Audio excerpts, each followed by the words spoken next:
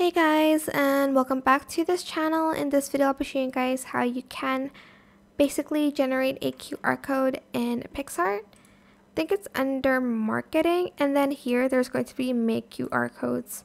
You're just going to select that option. Oops. My, my microphone. I don't know why I was going to say my mouse. Anyways, add in your URL. Just add it in a random YouTube um, URL you can either select logo and you can also select the frames here. I'm just going to select YouTube. Go to styles and here you can choose the color that you want. I'm just going to choose this pink one because I like pink. You can also um, select a QR code style here as well.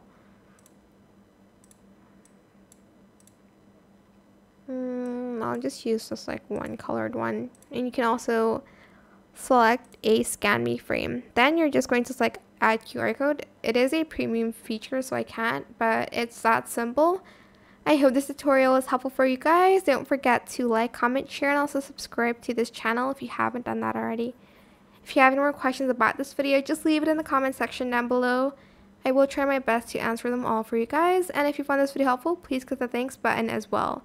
That is it. Thank you so much for watching. Bye!